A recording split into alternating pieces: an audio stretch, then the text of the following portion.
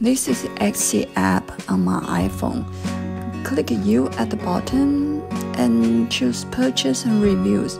Here shows the purchase history. I'm gonna find a digital sewing PDF file I bought. Here is my purchase from Sew a Little Seam. Click in to see the order. It shows it is a PDF sewing pattern. Scrolling down, but there is no file or link available to download at all. This is because Etsy download doesn't work on its app. We will need to use Safari or other website browser to get to actual Etsy website. Open Safari and go to Etsy.com. You can see it suggests to use the app on the top. Just ignore it. Click the little person icon to sign in. It might jump back to the app every so often. Just get back on Safari.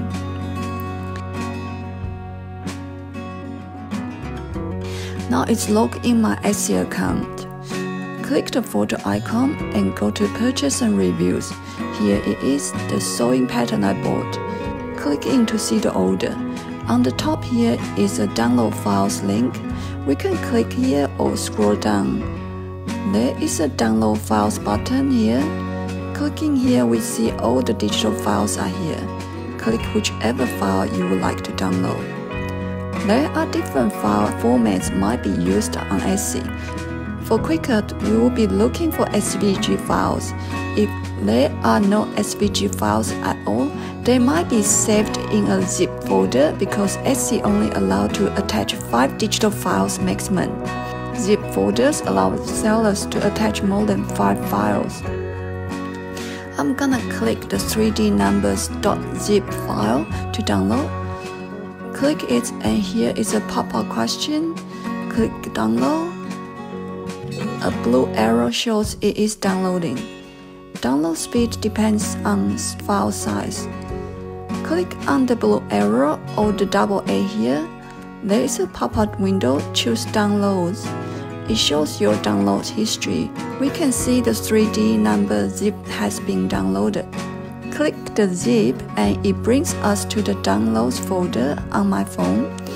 Click on the zip folder and it will extract the zip and create another folder with all the files. Click into the folders and here are all the SVG files. Don't worry if you can't preview the files. Now open Cricut app. Create a new project. Choose Upload and browse files. There are no files here, we will just search the files.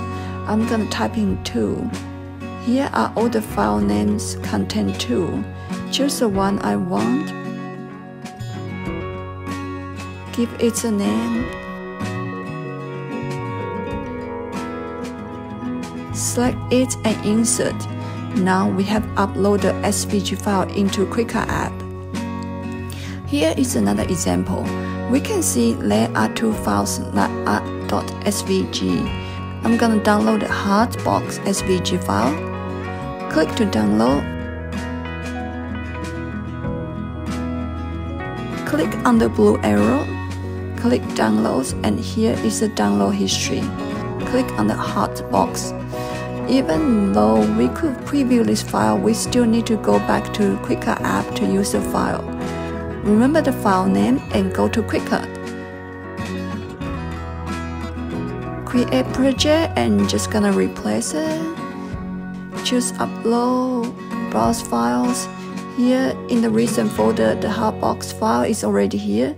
If you can't see the file you are looking for, just type the file name in search. Here it is. Give it a name and upload to Cricut. That's it. Thank you for watching.